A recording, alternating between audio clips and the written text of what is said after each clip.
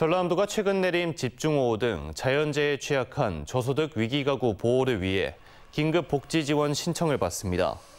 긴급 복지 지원은 갑작스러운 위기 사유 발생으로 생계 유지가 어려운 저소득층을 지원하는 제도로 지원 대상은 기준 중위소득 75% 이하인 가구입니다.